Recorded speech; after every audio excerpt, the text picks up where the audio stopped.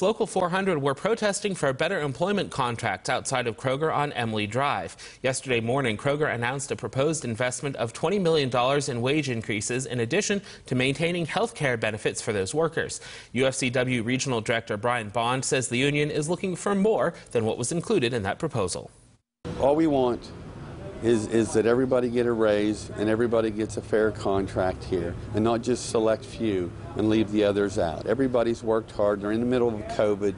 You know, they don't know who's going to bring something to them every day. And, and it's just like, do the right thing. Several people running for office in the area were also in attendance for the rally. Bond says their goal is to get Kroger back to the table and to receive a full offer that both sides can live with.